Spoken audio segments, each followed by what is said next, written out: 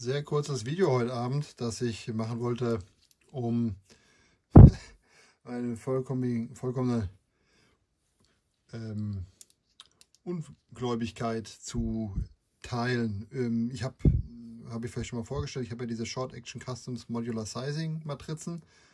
Äh, das ist jetzt die in Creedmoor. Ich habe die aber auch verwendet, um meine Dasher-Hülsen zu äh, kalibrieren. Und was ich mir jetzt kurz kürzlich neu dazu geholt habe, sind äh, diese eingebauten Expander. Ne? Das heißt, man kann von Short Action Customs hier ähm, in, in, in, Wunschgröße, ne? das ist jetzt zum Beispiel ein Innenaufweiter im, in der Größe 263, ne?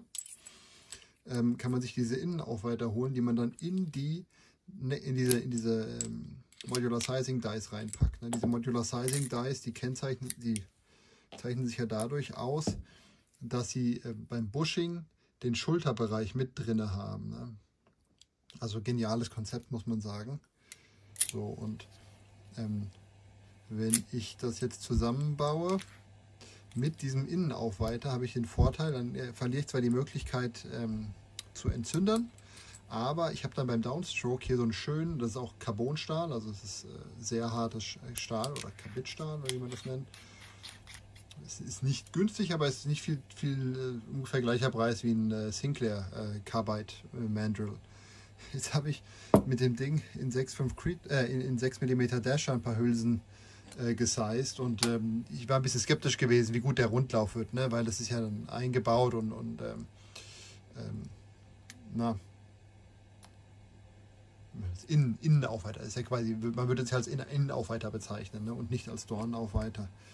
Jetzt habe ich erstmal geguckt, die, der, der, der, Verschlussabstand, wirklich, und das sind, jetzt, das sind jetzt die letzten fünf, die ich gemacht habe, ich habe davor schon 15 getestet, der Verschlussabstand ist einfach nur sowas von ultra bei den Dingern. Ich, äh, bin ich sehr happy mit. Ne? Genau. Also, und jetzt, jetzt kommt der Rundlauf. Ey. Das ist wirklich sowas von krass. Seht ihr das so ein bisschen? Also das ist eine, ähm, ja, vielleicht sieht man das so besser.